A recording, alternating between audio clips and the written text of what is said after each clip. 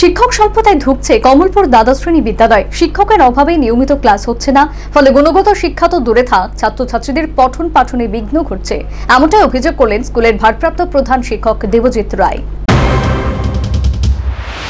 কমলপুর শহরের বনেদি স্কুলগুলির মধ্যে অন্যতম হচ্ছে পুরাতন কমলপুর দ্বাদশ শ্রেণি বিদ্যালয়। বিদ্যালয়ে বর্তমান ছাত্রছাত্রীর সংখ্যা সাড়ে চারশো। একাদশ থেকে দ্বাদশ শ্রেণির ছাত্রছাত্রীর সংখ্যা আড়াইশো। শিক্ষক শিক্ষিকা রয়েছেন তেরো জন। বিদ্যালয়ে বিজ্ঞান, বাণিজ্য ও কলা বিভাগ চালু রয়েছে। প্রত্যেক বিভাগে একজন করে শিক্ষক, শিক্ষিকা রয়েছেন।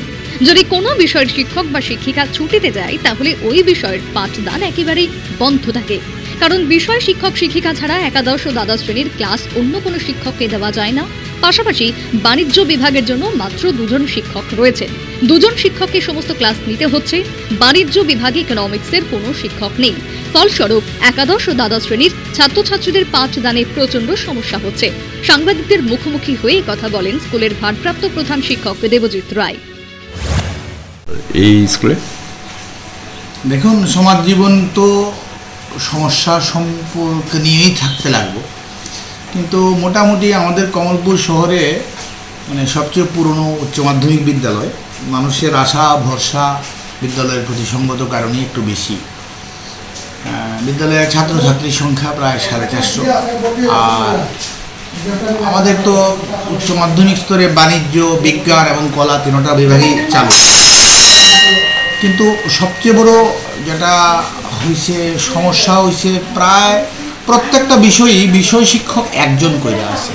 ছাত্র সংখ্যা উচ্চ মাধ্যমিক স্তরে প্রায় দুশোর কাছাকাছি ক্লাস এখন যারা টুয়েলভে পড়ে প্রায় দুশোর কাছাকাছি। ফলে একজন বিষয় শিক্ষক নিয়ে মাঝে মধ্যেই আমাদের বেশ কিছু সমস্যায় পড়তে হয় তাদেরও বিভিন্ন ছুটি ছাটা থাকে।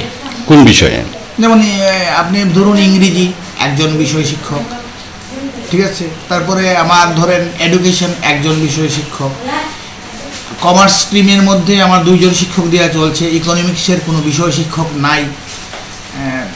মানে মূলত অভিজ্ঞতার ভিত্তিতেই অন্যান্য শিক্ষকরা দায়িত্ব বাট করে তাদের মধ্যে কাজগুলো করতেছে। কিন্তু একটা স্বল্পতা কিন্তু আমার ভারপ্রাপ্ত প্রধান শিক্ষক দেবজিৎ রায় আরও বলেন, রাজ্যের সর্বোচ্চ স্কুলগুলিতে শিক্ষক সংকট রয়েছে। এতে ছাত্রছাত্রীদের অসুবিধেই পড়তে হচ্ছে। তাছাড়া বিদ্যালয়ের অফিসিয়াল কাজের জন্য কর্মচারী মাত্র একজন। স্কুলের জন্য চারজন প্রয়োজন।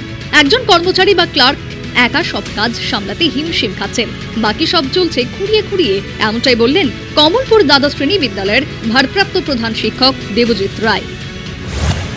স্বল্পতা বলা চলে সারা রাজ্যেই সংকট, তার মধ্যে আমি তো নিশ্চয়ই আমার কথাটা ফিল করি যে প্রত্যেকটা বিষয়েই বিষয় শিক্ষকের সংখ্যা একজন। ফলে বড় ক্লাসগুলা একজন শিক্ষকের কাছে সবসময় ম্যানেজ করে শিক্ষা দপ্তর এই রাজ্যের ছাত্রছাত্রীদের গুণগত শিক্ষা প্রদানের লক্ষ্যে কাজ করে চলেছে। শিক্ষামন্ত্রী রতনলাল নাথও বারবার গুণগত শিক্ষার কথা বলে থাকেন। সরকারের এই উদ্যোগ থাকা সত্ত্বেও শিক্ষক স্বল্পতার কারণে ছাত্রছাত্রীরা গুণগত শিক্ষা থেকে বঞ্চিত হচ্ছেন। বিশেষ করে দু সালের মার্চ মাসে দশ হাজার তিনশো তেইশের অ্যাডহক শিক্ষকদের চাকরি চলে যাওয়ার স্কুলগুলিতে শিক্ষক স্বল্পতা দেখা দেয়। এই স্বল্পতা আজও দূর হয়নি। তবে টেট উত্তীর্ণ বেকারদের শিক্ষক পদে নিয়োগ করলে এই স্বল্পতা শীঘ্রই দূর করা যাবে। চাকরির প্রদানের দাবিতে গত কয়েকদিন ধরেই শিক্ষা অধিকর্তার শরণাপন্ন হচ্ছেন টেট উত্তীর্ণ বেকাররা। তাদের অনেককেই ব্যাংক থেকে ঋণ নিয়ে B Ed D El Ed course করেছেন। ব্যাংক থেকে তাদেরকে ঋণ প্রদান করার জন্য চাপ দেওয়াও হচ্ছে। এ নিয়ে চরম উৎকণ্ঠায় দিন কাটাচ্ছেন টেট উত্তীর্ণরা এই পরিস্থিতিতে শিক্ষা দপ্তর টেট উত্তীর্ণ বেকারদের জন্য কি পদক্ষেপ গ্রহণ করে, সেটাই এখন দেখার। Bureau report, news Vanguard.